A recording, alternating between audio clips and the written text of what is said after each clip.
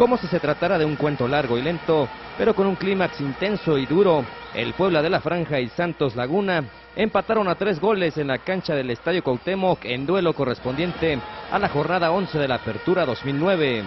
Ambos equipos intentaron llevarse el partido, pero lo fueron haciendo con pausas y a ritmos distintos.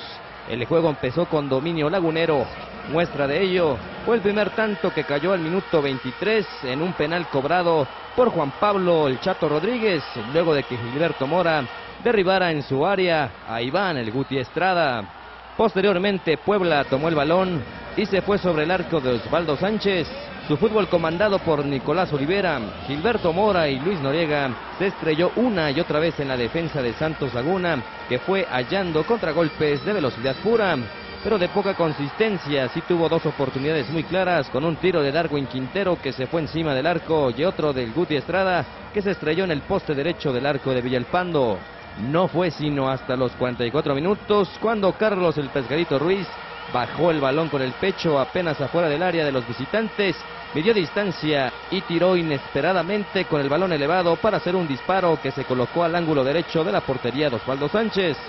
Para la segunda mitad los de la franja siguieron insistiendo, los cambios del Chelis reforzaron su medio campo y se dieron más profundidad. A los 64 minutos Rodrigo Salinas le rompió la cintura a Iván Estrada y se entró en medio de cuatro guerreros donde apareció Nicolás Viñeri para anotar la voltereta camotera. Posteriormente Carlos Ochoa empató el juego al minuto 77 tras un buen pase de Mosqueda.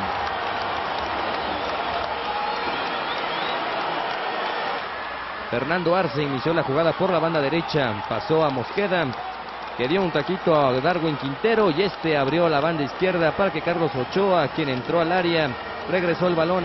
Fernando Arce que empujó la pelota raza. 60 segundos le duró el gusto de ir arriba en el marcador a los visitantes, pues Carlos el Pescadito Ruiz anotó con la testa tras un tiro de esquina para dejar el marcador empatado a tres tantos.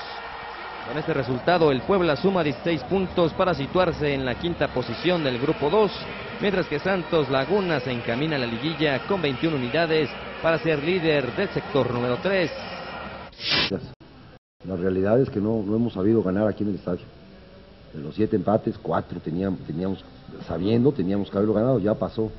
Entra en el hubiera y, y, estamos dejando pasar la, la entrada a la liguilla, ¿no? Porque ya es ya es una cosa de que queremos entrar a la liguilla, ¿no?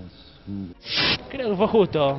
No sé si se ganó se perdió, fue justo el resultado. O sea, creo que por cómo se dio la cosa que nos hicieron el gol sobre la hora, perdimos dos, pero, pero, pero nos vamos contentos, igual que hicimos un gran esfuerzo. Tenemos ganas de que, de que sea así, y bueno, ya en la liguilla ojalá podamos mejorar.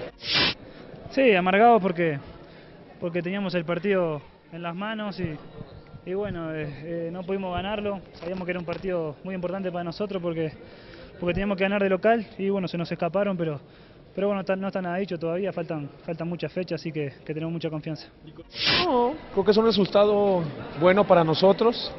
El trámite del partido estuvo bueno, con ida y vuelta, con cambios en el, en el marcador. Siendo analítico en mi, en mi apreciación, creo que por ahí tuvimos más ocasiones de gol que ellos, una o dos que pegaron en el poste, pero Puebla luchó y al final empató. Informó para E-Consulta Genaro Cepeda.